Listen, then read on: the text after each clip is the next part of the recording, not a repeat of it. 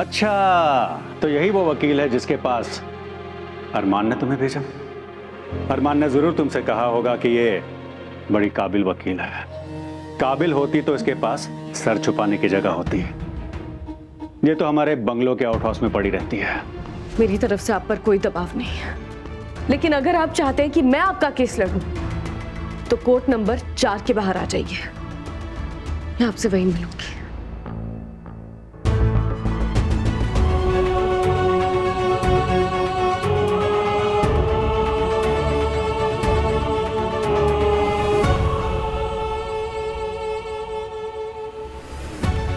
तुम्हारी प्रॉब्लम क्या है अबीरा? मेरा हाथ छोड़ो Armaan Poddar. No no, Abira Sharma not happening तुमसे कोई बात नहीं। तुम्हें बात करनी होगी वरना हमारे बीच की गलतफहमियाँ कैसे दूर होंगी यार? प्लीज़ मुझसे बात करो। क्यों करूँ? हम दस महीने साथ थे तब तुम मेरे सवालों से भागते रहे। तब तुमने कुछ नहीं कहा तो अब मुझे कुछ नहीं सुनना। तो क्या सारी ज़िंदगी दर्द का दामन थाम के जियोगे?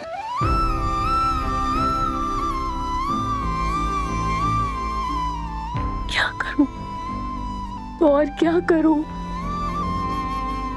जब किस्मत ने मेरी ज़िंदगी में दर्द ही लिखा है,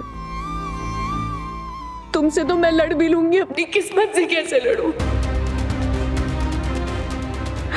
मैं मैं इतनी कोशिश करती हूँ, लेकिन फिर भी मैं तुमसे नफरत नहीं कर पाती। मैं तुम्हारे साथ होती हूँ, तब भी दुखी होती हूँ। तुम्हारे बिना होती हूँ, तब भी दुखी होती हूँ कि मेरी ज़िंदगी में आप सिर्फ़ दुख लिखा है कभी खुशी नहीं आएगी।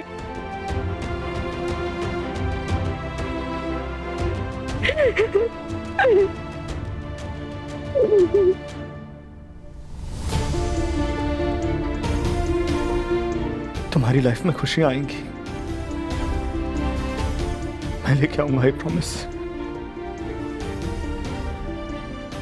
बस तुम हमेशा ऐसे ही मेरे पास रहना। मैं मैं किसी कम को तुम्हें छूने भी नहीं दूँगा।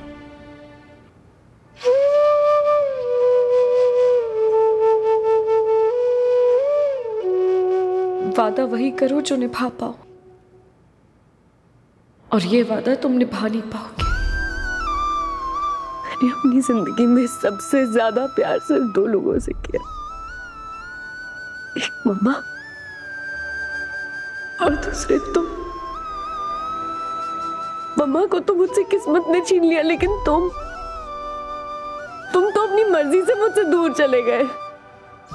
अरमान प्यार करने वाले दिल नहीं तोड़ते, लेकिन तुमने तो जानबूझकर मेरा दिल तोड़ा है। किस्मत ने हमारी लव स्टोरी में हैप्पी एंडिंग लिखी।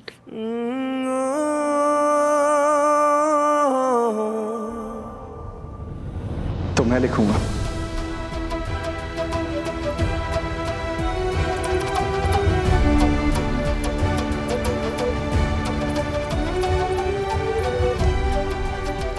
ज़िंदगी में जितनी भी मुश्किलें आए हैं,